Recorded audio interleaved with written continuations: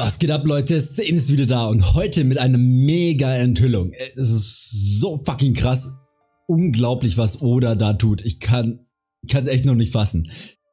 Okay, Konzentration, Wusa, auf geht's. Auf jeden Fall, ich hatte ja in einem meiner Videos angekündigt, dass für Kapitel 912 etwas Großes mit Sanji passieren wird. Und das hatte Oda bzw. ein Editor oder äh, die Show Jump in ihrem letzten äh, Magazin ja gesagt. Dieses Geheimnis ist jetzt gelüftet und macht euch auf was gefasst. Das ist wirklich Mindblow pur. Sowas gab es in One Piece bisher noch nie. Also, ein Editor hat das Geheimnis nun an die Luft gebracht und mir bleibt dabei einfach nur die Luft weg, sorry. Sanji krass ey.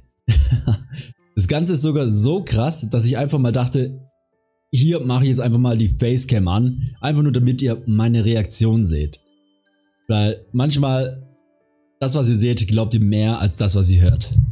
Also, in Kapitel 912, beziehungsweise in der Shonen Jump Ausgabe, in der 9, Kapitel 912 rauskommt, könnt ihr lesen, und jetzt haltet euch wirklich fest, schaltet jetzt ab, wenn ihr nicht gespoilert werden wollt. Ganz wichtig.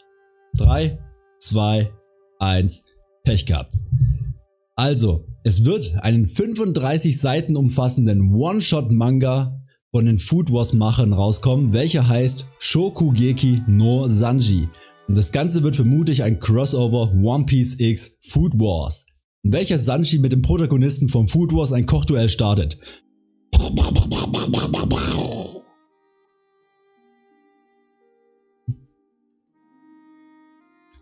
Okay, für alle, die mein übertriebenes Spielen nicht erkannt haben, die ganze Aufmachung des Videos dient nur zur Veranschaulichung meiner Enttäuschung dieses Leaks. Ich meine, schön.